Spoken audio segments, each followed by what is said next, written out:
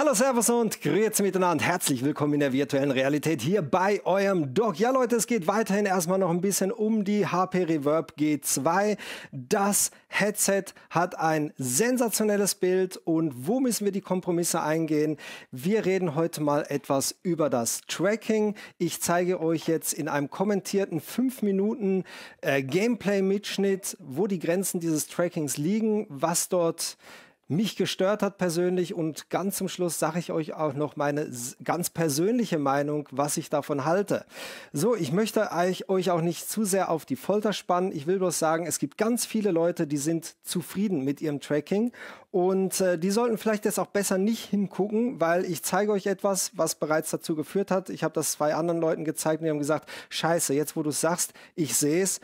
Äh, üble Sache. So, am besten die, die zufrieden sind, ausmachen, alle anderen können jetzt weiter gucken. So, gucken wir uns das Ganze mal an. Ihr seht, ich spiele hier Pfeil und Bogen. Und äh, was man hier sehr schön sieht, das ist, äh, wenn ich den Controller vor der Nase halte, kann ich nicht mehr nach rechts und links schwenken. Und ihr seht, ich habe einen relativ großen Abstand von der Brille.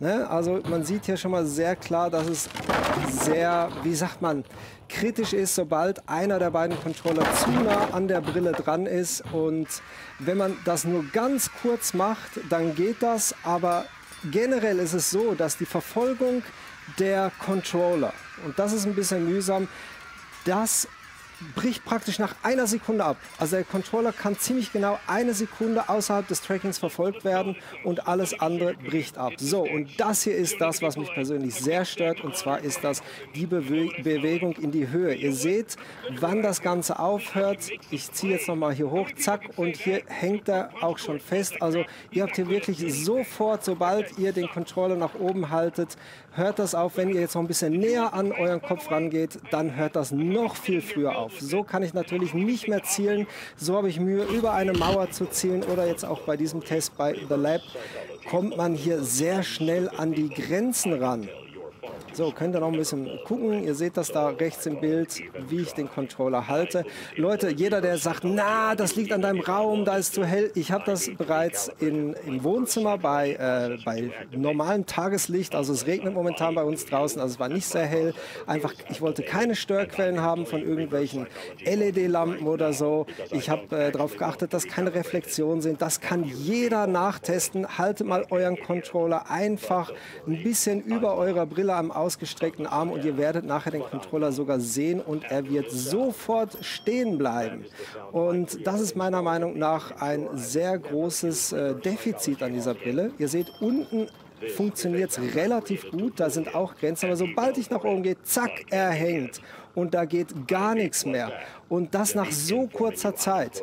Ich glaube ja persönlich, dass es hier ein äh, Softwareproblem ist, dass man diese Nachverfolgung über die Gyrosensoren ähm, länger als eine Sekunde eigentlich tracken können müsste. Momentan ist das allerdings nicht der Fall.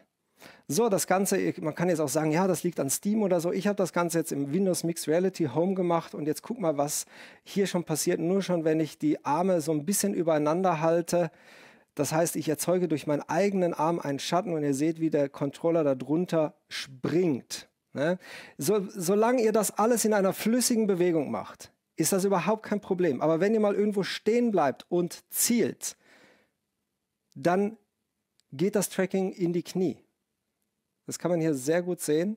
So, jetzt einmal ein Controller vorne hin, einer vorne, einer hin und jetzt kreise ich den da hinten mal und ich mache hier noch kleine Kreise. Ich mache später mal große Kreise. Ihr seht, wo er hier hängen bleibt. Das ist einfach dem geschuldet, dass die Brillen, die LEDs dort nicht mehr gut sehen können. Aber auch hier sollte eigentlich die Verfolgung im nicht sichtbaren Bereich trotzdem weiterziehen, diese Bewegung. Für das sind die Sensoren da und das scheint momentan nicht gut zu funktionieren.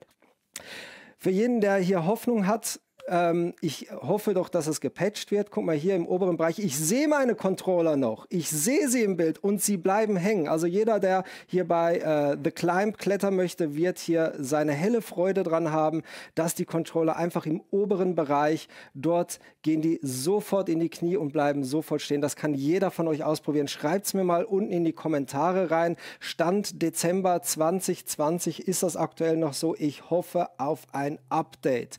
So, Jetzt gucken wir ein bisschen auf die Schatten. Ich gehe mal ein bisschen weiter hier nach vorne. Ihr seht die Schatten, der Controller auf der Seite. Wunderbar, funktioniert sehr gut. Hier haben wir auch zwei Kameras auf der Seite. Hier funktioniert das Tracking wirklich ausgezeichnet. Sobald ich jetzt nach oben gehe, ihr seht die Schatten, die bleiben stehen und die ruckeln nachher weiter. Und es braucht wirklich circa eine Sekunde, wenn nicht noch ein bisschen weniger. Und dann bleibt der Controller stehen. Ähm, ihr seht, jetzt habe ich die ganze flüssige Bewegung gemacht. Wenn ich nur greife und nach hinten schleudere, das kann er, das geht. Solange ihr euch schnell bewegt, für Shooter überhaupt kein Problem. Aber für alle, die etwas, ich sag mal, für alle Camper, die oder die ein bisschen länger als eine Sekunde eine Bewegung nach oben machen, das äh, geht dann wirklich äh, nicht mehr gut. Und für mich ist wirklich eine Sekunde viel zu wenig. Das muss länger getrackt werden können. Auf jeden Fall. Sonst können wir wirklich bloß noch ganz schnelle Spiele spielen mit dieser Brille. Und äh, das wird dann echt ein bisschen schwierig. Ja, jetzt äh, seht ihr nochmal hier, das funktioniert. Aber sobald ich die Bewegung langsamer mache, bleibt es da hängen. So, ich äh, habe diesen Test nochmal gemacht mit den äh, Controllern nebeneinander einfach mal zu halten. Vorne dran, da ruckelt nichts, da zuckt nichts, das ist sehr schön. Und jetzt mache ich nochmal ein bisschen größere Bewegung. Dass der, seht ihr das auf der rechten Seite, dass der Controller außen dran getrackt werden müsste. Und auch hier geht das Tracking in die Knie. Das ist einfach auch sehr, sehr unschön. Und ja, ich sage es nochmal. So, jetzt ist Video fertig. Ich hole euch mal wieder zurück. Dass, sobald ich eine Verdeckung habe, müsste eigentlich, da sind Beschleunigungssensoren drin, das müsste der Controller weiterführen, diese Bewegung. Macht er momentan nicht. Das macht aber zum Beispiel die Oculus Quest und die Oculus Rift S, die machen das hervorragend. Viel, viel besser. So, das soll jetzt nicht ein, äh, ein, Punkt sein, der euch jetzt komplett von diesem Headset wegbringt. Ich sage ja, sehr viele Leute, die jetzt zum Beispiel Shooter gespielt haben, die haben die Hände hier. Es ist einfach so, wenn ich zum Beispiel Population One spiele und ich halte mich oben an einer Kante fest und ich ziehe mich nach oben, um zu gucken, hier geht's noch. Lasse ich die Hand wieder nach oben und ich will mich hinter der Mauer verstecken, verliert der hier oben das Tracking. Und dann fängt das Geruckel und Gezuckel an, dann falle ich die Mauer runter und dann macht das Gameplay keinen Spaß mehr. Es gibt ganz viele Spiele, die solche Phänomene haben, dass ich auch mal die Hand oben halten muss. Ne? Oftmals Shooter, wo ich nur so schieße, geht das. Wenn ich äh, die Controller genug weit voneinander entfernt habe, geht das auch. Sobald ich das verdecke, kann es wirklich dazu kommen, dass er kurzfristig das Tracking verliert. Das muss nicht sein. So Leute, und ich habe euch gesagt, ich sage euch noch meine persönliche Meinung dazu. Mein persönliches Statement ist dazu, ich finde es echt, echt schade. Die ersten Windows Mixed Reality Brillen vor vier Jahren, äh, ich glaube, war vor vier Jahren oder knapp vier Jahren, als sie rausgekommen sind, das Tracking war gleich.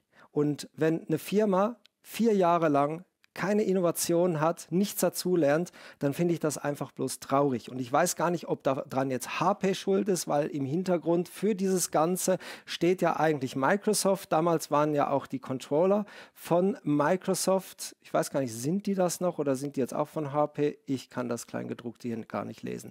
Egal. Es ist, was es ist. Es ist für mich enttäuschend. Ich kann es nicht anders sagen. So, jetzt ist die Frage Kompromiss für mich. Ich sage immer für mich. Ähm, ist das trotzdem dieses geile Bild wert, dass ich dieses Tracking in Kauf nehme? Ja, für gewisse Spiele ja. Half-Life Alex, absolut. Medal of Honor, Absolut. Nehme ich in Kauf. Das passt. Population One, nein, würde ich nicht mit dieser Brille spielen.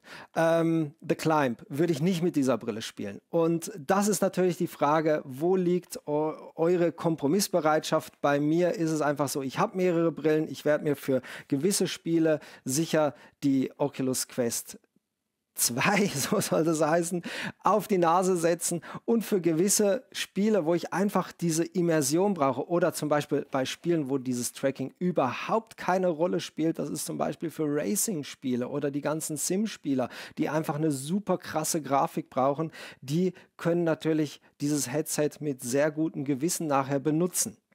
So, ähm, ja, das Bild ist halt gut.